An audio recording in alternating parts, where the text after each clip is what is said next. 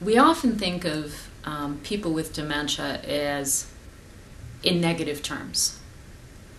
And that leads to negative outcomes. And we have to start understanding that. So if we see a person who has the ability to walk and come up and ask a question, even if the question is, Have you seen my mom? But if that person's walking down the hall and they're asking for something and they're picking objects up, oftentimes that person is labeled in a negative way. They're labeled as a wanderer or a rummager or confused, or worse yet, they're labeled as a problem. Instead, this person is, this person is showing us all that they can still do. And it's the reframing that that becomes so essential to unlocking the functional and quality of life potential inside of each of these individuals with Alzheimer's. So instead of seeing that person as a confused wanderer who rummages,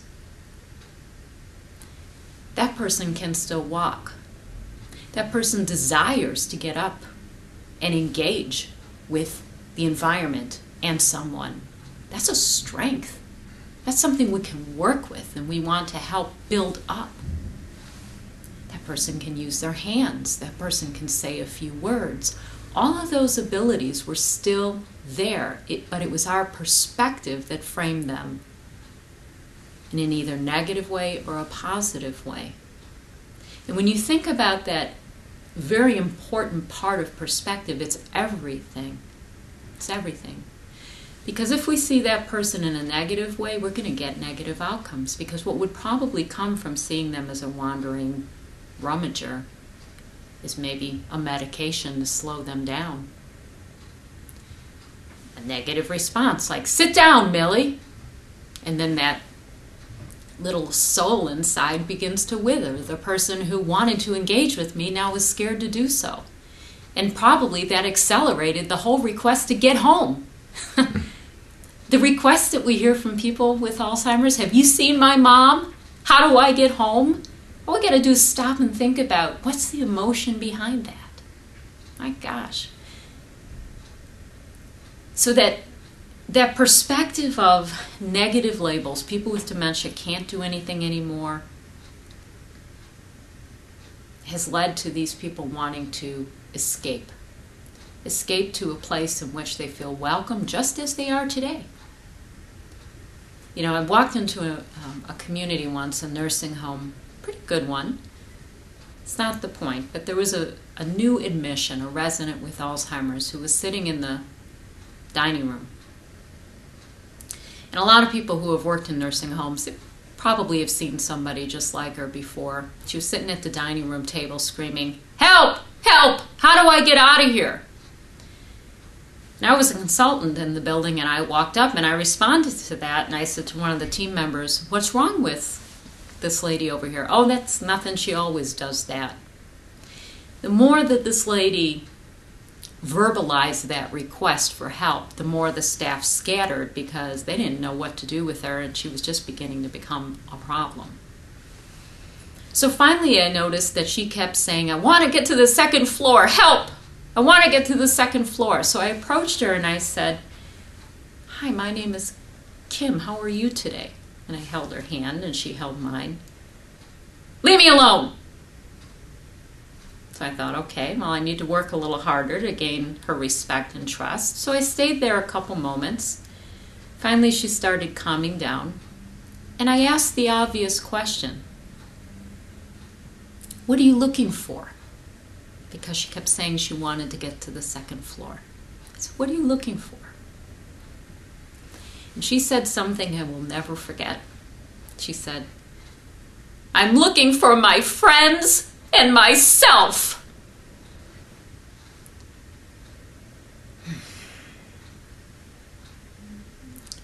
Just think about that. Can you imagine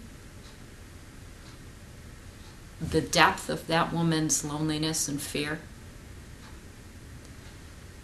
She's sitting in this place in which she feels so lost and so alone.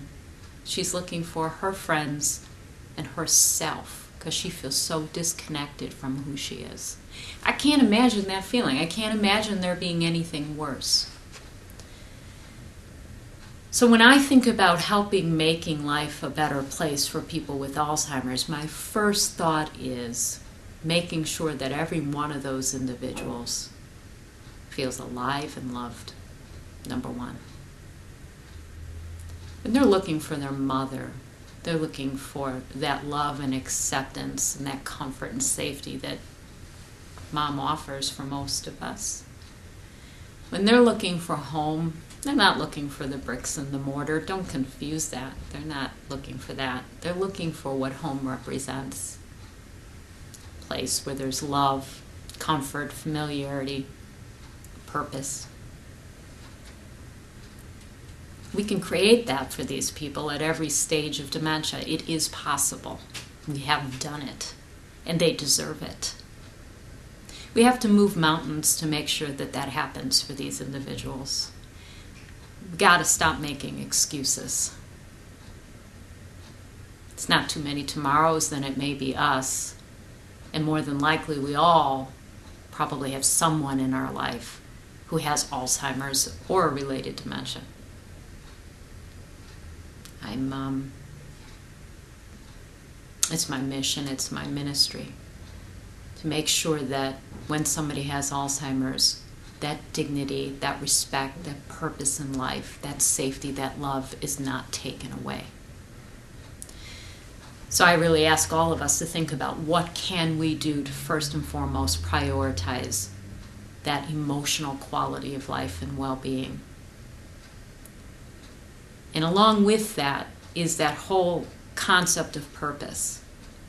We have to have people doing things and engaging in things that give them a sense of satisfaction and success, joy, and a reason to swing their legs over the edge of the bed in the morning and get up. And just again, because somebody has Alzheimer's doesn't mean that that has to be taken away. We take it away from them because we have that belief that because their brain is not functioning the way it used to, they don't remember as well or they don't learn as well or they don't attend as well, that they can't do the things they always did. That's not true. Just like we simplify activities in life for children so they can feel success and build self esteem and be engaged, this is what we need to do for those with Alzheimer's and dementia. I can't heal their brain, but I can heal their soul. I can give them a reason to get up tomorrow. And the way I do that is by changing something about myself first, which is my belief and perspective about what the potential is for these individuals and what's important. I change my style of communication so I know that we're understanding each other. I have to change that. I make sure I don't do anything anything until I have this person's trust and agreement. I don't force anything on them, I don't make them comply. I learn what's important to them. So I change me, I change the environment around them so that they can be successful, and I change whatever their beloved activity is so it's at the just right match. Whatever skills they still have remaining, they can use. Whatever they can't do anymore, that's okay, I'll do it. Just like a two year old can go through their morning care routine, make a mess, do half of it, but walk away feeling great. The same is true for somebody with Alzheimer's. That's my mission. Help their soul to heal, give them a live a reason to live. Make sure they feel like they're never alone.